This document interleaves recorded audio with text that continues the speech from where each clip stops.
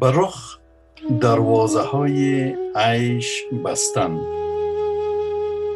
بر روی آتش سوزان نشستن. به تنهایی به سر بردن به کنجی سر خود بر در و دیوار شکستن.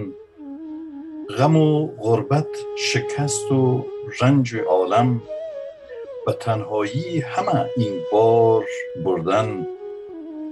به تنهایی به سر بردن به دنیا به تنهایی ز هستی بار بستن نباشد آنقدرها سخت و مشکل. نباشد آنقدرها سخت و مشکل که پای صحبت نادان نشستن.